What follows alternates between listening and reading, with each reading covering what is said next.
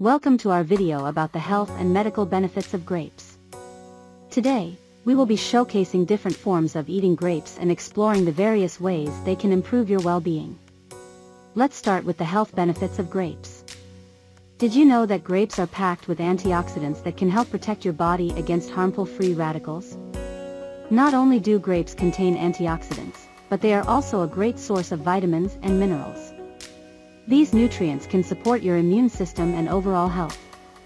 Now, let's explore the different ways you can enjoy grapes. From snacking on them raw to incorporating them into delicious recipes, the possibilities are endless.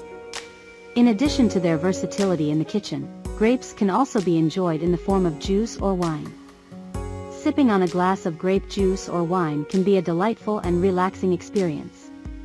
Remember, whether you prefer eating grapes raw, cooking with them, or enjoying them in liquid form, incorporating grapes into your diet can have numerous health benefits. We hope you've learned something new about the health benefits of grapes and the different ways you can incorporate them into your daily routine. Remember, a small change can make a big difference. Thank you for watching. Don't forget to like, subscribe, and share this video with your health-conscious friends.